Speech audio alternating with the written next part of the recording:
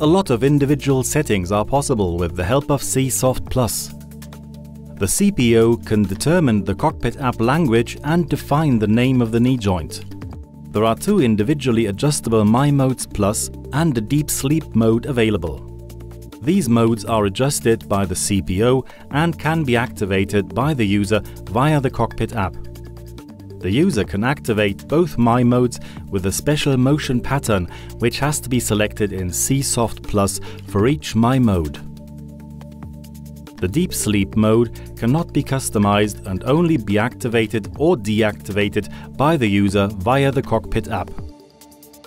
If deep sleep is activated, the energy consumption of the knee joint will be lowered, but normal walking is not possible, and the C-leg operates in safety mode behavior. The CPO may choose from different preset My modes, and each of them can be customized. In this example, table tennis is selected for the first My mode in the drop-down menu. When clicking on Table Tennis, a warning message pops up that the mode will be switched from basic mode to the selected My mode. Confirm this with OK. Two parameters are now visible, and their values can be easily changed. The first parameter is the basic flexion resistance. The higher this value is set, the higher the flexion resistance will be as the knee starts to bend. A higher basic flexion resistance will also decrease the achievable flexion angle for the user. Conversely, if the basic flexion resistance is reduced, the maximum flexion angle will increase. The second parameter is named flexion resistance increase. A higher value will increase the level of flexion resistance quickly as the knee flexes and a lower flexion angle will be achievable and vice versa. The settings for the My Mode table tennis are now reset to their defaults. Due to the given basic flexion resistance, the knee joint is not free swinging. To lock in flexion at 25 degrees, a relatively low value for flexion resistance increase is needed. Conversely, to achieve the same maximum angle of 25 degrees, the basic flexion resistance can be reduced, and the flexion resistance increase therefore must be set higher. The knee joint can flex easier and the flexion movement is stopped a little more abruptly at the target angle. If both parameters for the flexion behavior are set at their lowest level, the values are the same as in the preset My mode for cycling. The knee joint is free swinging and there is no increase in resistance. The user will need to stand securely during this state.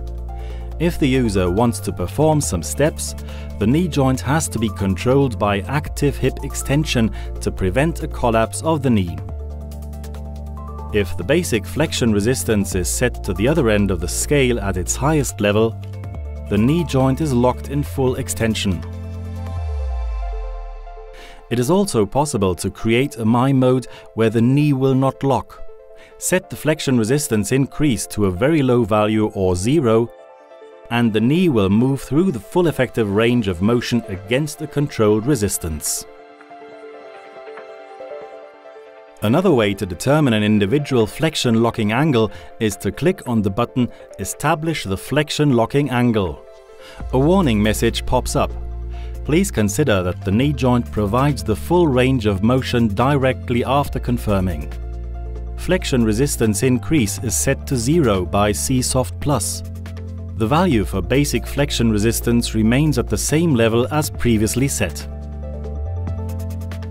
Ensure that the user is sitting or standing securely depending on the desired activity. Now the knee can be flexed to the desired locking angle by the user and the CPO has to confirm the adjustment in CSoft Plus.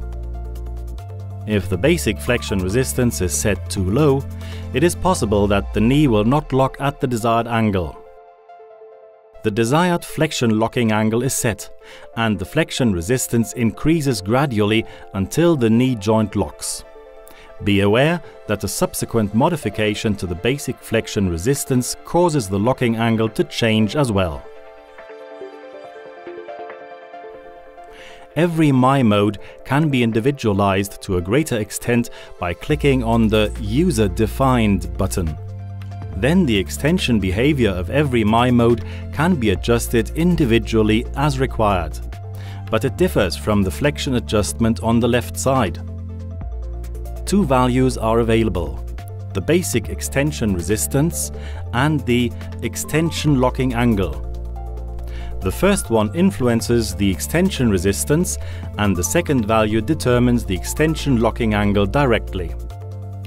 The name of the My mode is automatically switched to user defined and a new name can be entered individually.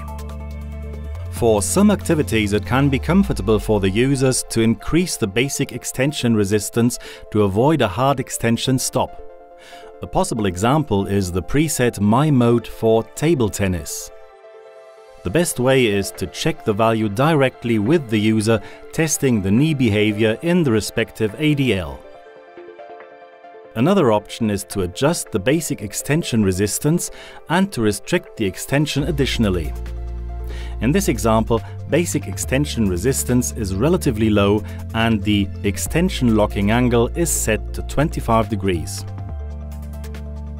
If there is no lock during the flexion movement, the user can bend the knee through the full range of motion. However, the extension movement will stop at an angle of 25 degrees. To extend the knee joint, the user needs to hold the prosthesis back and in the air for roughly 2 seconds. The knee joint will then move into full extension.